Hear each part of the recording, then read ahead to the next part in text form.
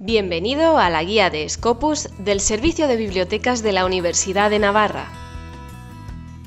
Scopus es una base de datos que abarca múltiples áreas de conocimiento.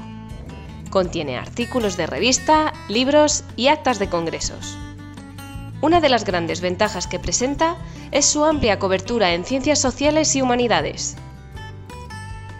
Scopus permite hacer una búsqueda por documento, autor, institución o una búsqueda avanzada. El menú de la parte superior siempre está visible y da acceso a los enlaces principales de la base de datos. En primer lugar, regístrate. Esto te va a permitir guardar documentos y crear alertas. Rellena los campos que solicita y recuerda cumplimentar el campo email con el correo electrónico de la universidad. Veamos un ejemplo de una búsqueda temática. Necesitamos información sobre los medios sociales en el mundo político. Para ello, podemos escoger varios términos sinónimos, utilizar operadores booleanos y también truncamiento. Los términos deben estar en inglés. Si añadimos otro párrafo, podemos hacer búsquedas combinadas. A la derecha se despliega un listado de campos en los que podemos realizar la búsqueda. Autor, revista, idioma. Dejaremos el que viene por defecto que busca en título, resumen y palabras clave.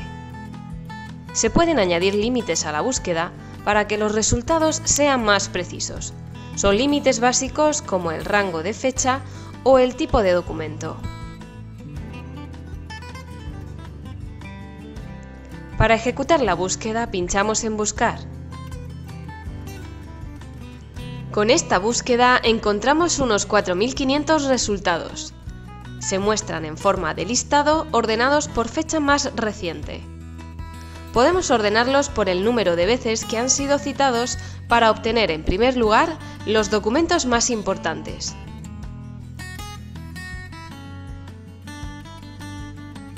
La columna de la izquierda ofrece un mayor número de limitadores o filtros que pueden aplicarse a la búsqueda, fecha de publicación, autor, área temática, entre otros.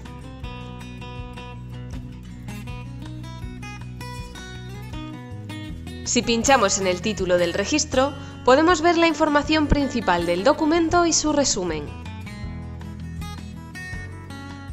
En la parte superior del registro a través del enlace a Sabio o a la biblioteca, se puede acceder al texto completo si la biblioteca dispone de él. El resto de los enlaces permiten exportar y o descargar el registro, añadirlo a la lista de favoritos, imprimir, enviar por correo y obtener la referencia bibliográfica. A la derecha podemos consultar los documentos que han citado este artículo y también otros documentos relacionados temáticamente. Hagamos ahora una búsqueda por autor para conocer toda su producción científica. Uno de los puntos fuertes de Scopus es la creación de un perfil de autor a través de un identificador único en la propia base de datos. En este perfil encontramos información sobre la institución a la que pertenece, otras firmas por las que se le conoce al autor, número de artículos publicados en esta base de datos, citas recibidas e incluso el número ORCID de investigador. Desde aquí, los artículos se pueden ordenar por citas recibidas, se pueden crear alertas o exportarlos.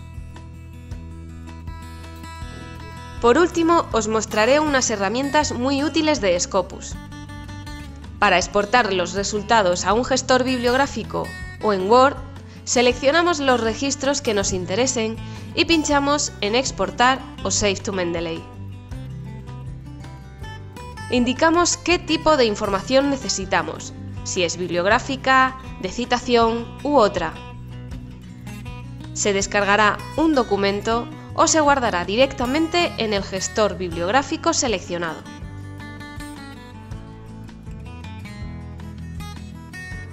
Otra herramienta importante son las alertas.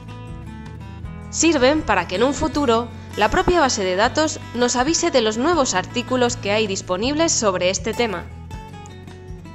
Para guardarlas hay que realizar la búsqueda que nos interesa, pinchamos en Añadir alerta y a continuación le daremos un título, un correo electrónico al que nos llegarán estas novedades y la frecuencia con la que queremos que nos avise.